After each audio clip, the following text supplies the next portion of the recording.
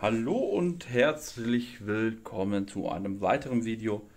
Heute gehen wir in den Bereich der Schlachtrunde.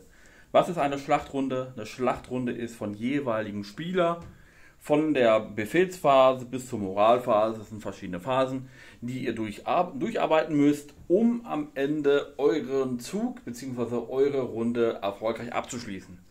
Was beinhaltet alles eine Schlachtrunde? Wir haben die Befehlsphase, das ist am Anfang, wo ihr zum Beispiel auch Befehlspunkt, wie man der Name schon sagt, auch wiederbekommt. Ihr werdet eine Bewegungsphase haben, wo ihr eure Modelle alle bewegen dürft. Ihr werdet eine Zielphase haben.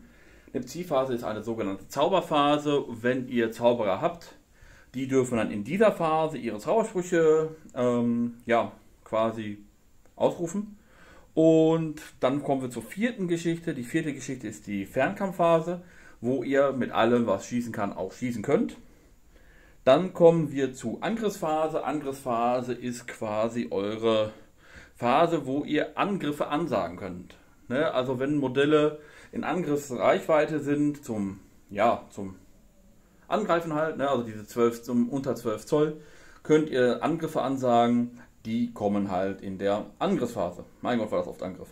So, dann kommt in der sechsten Phase die Nahkampfphase, sprich wenn ihr Leute erfolgreich angegriffen habt, also an, angecharged habt oder bestehende Nahkämpfe ist, werden die in der Nahkampfphase abgehandelt und zu guter Letzt werden eure, ja, kommt ihr zur Moralphase. Moralphasen sind dann die Phasen, wo dann geguckt wird, wie viele Modelle sind von den jeweiligen Einheiten kaputt gegangen. Muss man einen Moraltest ablegen, also einen Zermürbungstest, ja oder nein. Das wird in der letzten Phase getan. Und wenn ihr diese Moralphase quasi abgehandelt habt, ist euer Gegner dran.